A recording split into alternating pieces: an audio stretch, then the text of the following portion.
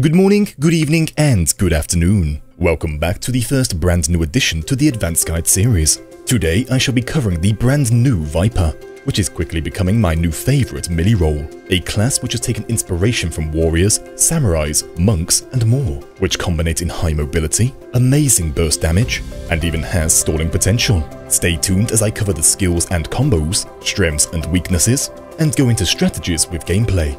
Thank you all for the continued support. Let me know down below how you yourself are finding the Viper. Enjoy the video and without further ado, let's begin.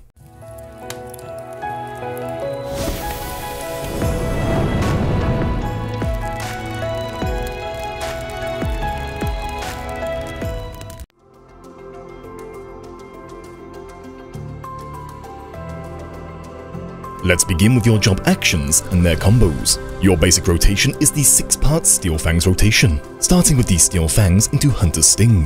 Hunter's Sting will then increase your damage by 10% for 15 seconds up to a maximum of 30 seconds. This then leads into your Barbarous Bite, followed by your Piercing Fangs. Next is the Swift Skin Sting, which will now reduce your weapon skill recast time by 20% for 15 seconds up to a maximum of 30, with the last part of this rotation being the Ravenous Bite. You won't be using the main combo all that often, outside of your other abilities. However, it is nice to have at the ready, in order to maintain Viper's damage boost and recast boost. For your gap closer, we have Slither. This works just the same as the Monk. You can dash to both enemies and allies. Following this dash, your next weapon action will become 25% stronger. You will typically use this as part of your main engage, as your main opener is the Hunter's Snap. This applies the same damage boost for 15 seconds, which then combos into the Twin Fang Bite. This will also grant you 3 seconds of charge towards your limit break. Repeat this process once more, only this time the Hunter's Snap has become the Swift Skin Coil. This one grants 15 seconds of faster cooldowns, and this time combos into the Twin Blood Bite, once again taking 3 seconds off your limit break charge. This opener alone will take 6 seconds off your limit break charge, and sets up your damage boost and faster cooldowns. Next we have the Serpent's Tail. This action will take the form of all other instant cast abilities. For example, in the main rotation, actions 3 and 6 transform the Serpent's Tail into Death's Rattle, which, just like the Hunter Snap combos, takes 3 seconds off your limit break charge time, granting you 6 seconds with a full rotation. For your ranged attack, we have the Uncoiled Fury. This can be cast from 20 yards away, dealing 8000 to your target and those around him. Should this only strike a single target, you will deal a bonus 50% for 12,000 damage. This combos into the Uncoiled Twin Fang, and just like before, will remove 3 seconds of your limit break charge time. Next up we have the Snake Scales, a rather cheeky ability. Upon activation, be warned, you will be held in place. While active, all damage you receive is reduced by 50%.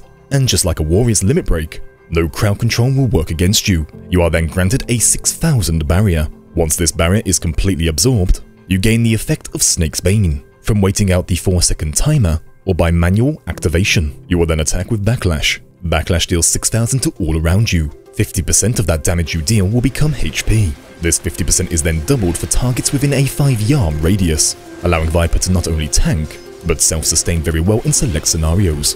Both your Snake Scales and Uncoiled Fury can be instantly reset with the action Rattling Coil. Now for your Limit Break. The activation is very similar to that of the Samurai. Upon activation, you will dive your target, dealing 10,000 to that target and all players nearby. This will then trigger your Reawakened state, which now alters the Dual Fang rotation and Serpent Tail abilities. You will deal 20% more damage to your target, as well as striking them with heavy. This limit break is wonderful to time with a Dark Knight, as it is all AoE damage.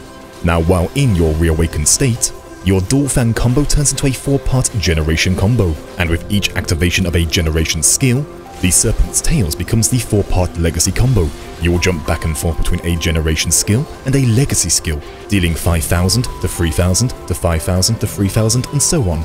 Your Limit Break combo then ends off with Ouroboros, landing one final 10,000 to all enemies around your target. You can also trigger Ouroboros at any stage during your Limit Break, in order to end your Limit Break early, or for situations you want to finish off a player right then and there. To put Viper simply, you are not changing what combo you are doing halfway through. As the Viper, you are aiming to complete full combos, in order to keep your bonus damage and recast timers going. Doing so will also earn you faster limit breaks, making you the perfect partner role to follow up on others' limit breaks.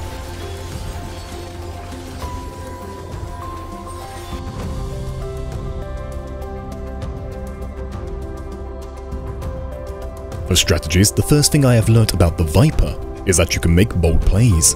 Excellent as we have a Dark Knight going in as a commander. This is perfect as a Viper, as the role is not the best at being the battle initiator. Instead, I begin by backing up my Dark Knight with Uncoiled Fury, right as he goes in, then using Slither to close the gap.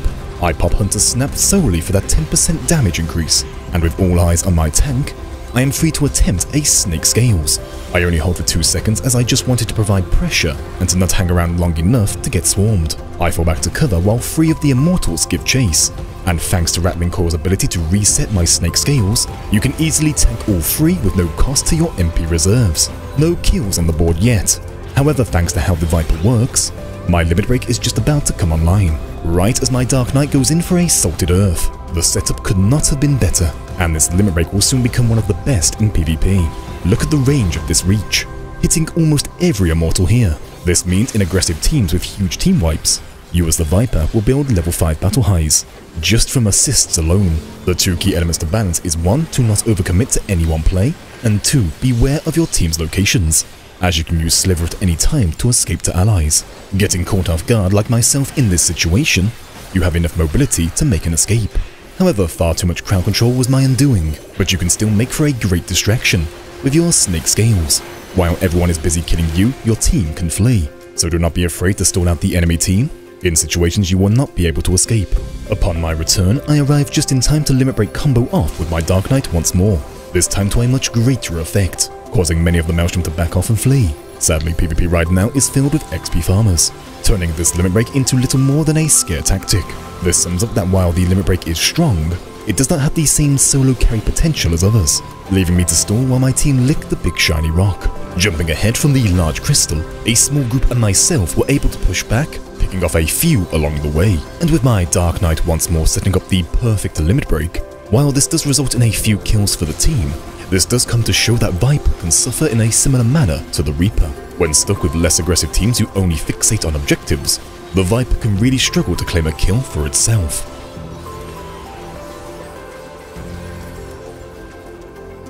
Moving on ahead to an ambush at the choke point, this play shows that for frontline alone, Viper is currently excellent for taking down ranged roles. However, the resistances of both tanks and melee really dampen down your damage, meaning with the current version of Viper, your best play is to ensure you hit as many players as possible. You need to claim every assist that you can in order to build that battle high. But like I previously mentioned, with a coordinated team willing to take fights, the value Vipers bring will begin to shine through. Returning to my team, a small team fight has finally broken out. Here I am holding off to the side, waiting for a small gripe in order to maximize my limit break potential. This level 5 battle high white mage struggles to keep up with the constant onslaught of damage, with his bard and his paladin not far behind. Small battles such as this as a solo player worked really well as you are able to combo off, and now the Maelstrom have come to play.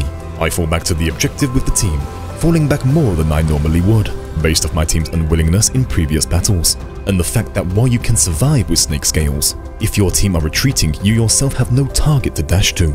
So now I change my playstyle, dashing in for some fast damage and then backing off. Wait for the next opening to occur and then dive back in.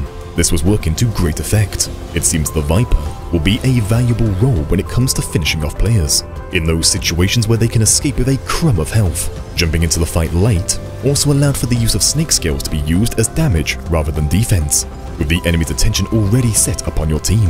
Onto one final battle. The Immortals are pushing in with the Maelstrom on their flank, I wanted to now test the limit break potential when their focus is divided. The opening burst damage with the incoming damage from those nearby worked wonders, dropping this machinist before he could even react. Once PvP settles down on the EXP farming, and more players returning to enjoy PvP, do not be surprised when you see Q-Sync groups running Vipers and Dark Knights. Even in this situation where I pushed aggressively for those final moments, falling back and using Snake Scales when I knew crowd control was coming my way, allowed me to survive where other melee roles would not.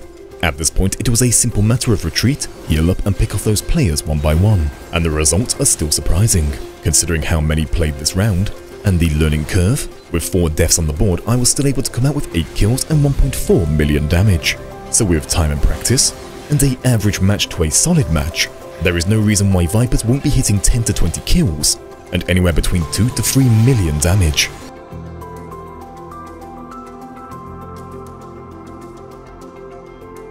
For your strengths, firstly you have great mobility, a dash in which can hold free charges just like the monk. This can be used to dive onto targets and allies. You have a rather interesting self-sustain. Snake Scales is clutch in many situations, and I found it works wonders when there are many range players focusing you, allowing you to dampen the damage from their burst rotations before escaping. You can increase both your damage and your recast timers, with every rotation having a way of increasing and maintaining those timers.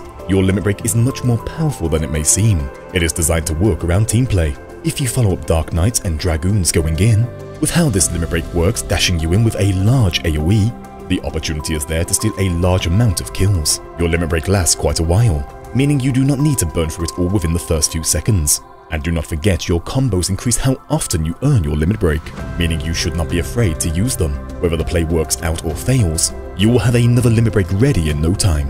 And right now, in frontline, the Viper's damage feels quite good against ranged roles. You either claim the kill or you force them out.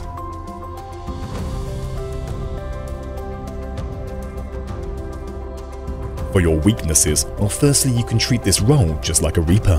The less aggressive your team, the harder it can be to make big plays. Your defensive skill Snake Scales is a fun gimmick to use, however missed timings or using it in the wrong location can very easily get you killed. Being almost all close quarter combat, it can be a struggle to getting close long enough to get through your rotations.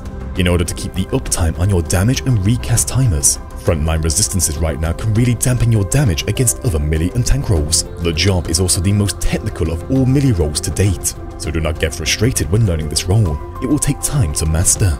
And there we have it. Everything you need to know for picking up the Viper in PvP right now. It is fast-paced, and the technical element is a rather refreshing feel. If you are looking for a PvP role which will challenge you a bit more, I hope today's video can be of some help. Thank you all for watching, and check back soon for my Pictomancer Advanced Guide. Until then, happy hunting, and I shall see you all in the next one.